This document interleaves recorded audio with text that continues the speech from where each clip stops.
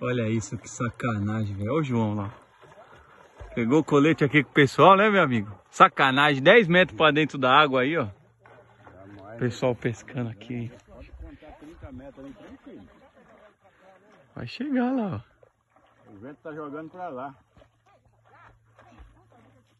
Eles vêm lá de São Paulo atrás dele. É. Eu jamais ia imaginar que tinha gente aqui, pô, pescando. E a estradinha, ó, só o funilzinho dela, né? Olha lá, filha, que gigante. Vai ter que ser muito cauteloso pra trazer ele. Vai. Pra ele não deitar, né? Tá chegando.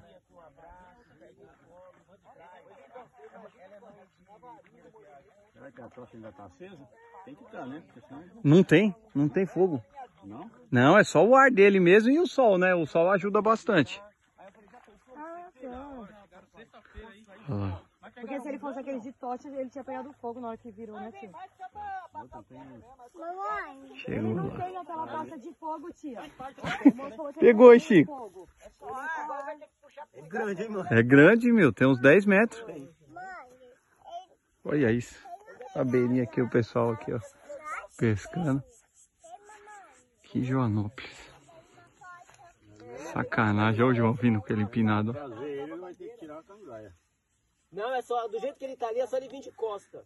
De ele vem remando de costa. Rema com uma mão, vem de costa. Ou pega com a boca, né? É que ele tá levantando ele. É, tá de vendo? costa ali, do jeito que ele vem, dá pra trazer. É só ele descansar. É, só ele tomar cuidado pra ele não entrar debaixo. É.